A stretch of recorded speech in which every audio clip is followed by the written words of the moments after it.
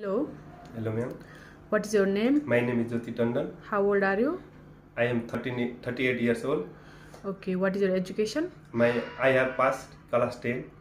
What is your height? My height is 5.8 inch. What is your weight? My weight is 76 kg. Okay, are you married? Yes, married. Do you have children? Yes, one children. Okay. Do you have any working experience? Yes, I experienced working in India as a cook. Five years uh, in Garba Hotel. I working in Nepal two years in as a cook. Okay, you work in India and Nepal also cook. Cook, yes. Okay. Then what is your favorite dish? My favorite dish is uh, garlic, chicken garlic sauce and sizzler, chicken sizzler.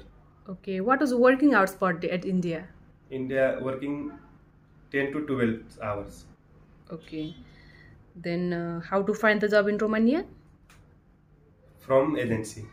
Then why you want to go in there? My family family problem is uh, money problem. Uh, my fam- family future in better than, than now. Okay, you support uh, family. Yes, support family. Okay. Then which type of job you want to apply in there? As a cook. As a cook? Yes. Okay. What is your expected salary from there? My expect I expect a minimum 500 US dollar. Minimum 500 US dollar. Yes. Okay. Can you work 6 days per week and 10 hours per day in Romania? Yes. Are you sure you can do? Yes.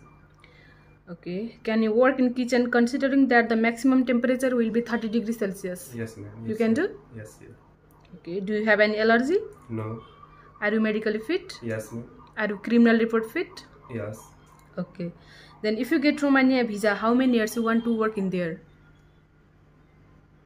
Minimum four to five years. Okay. Thank you very much. Thank you.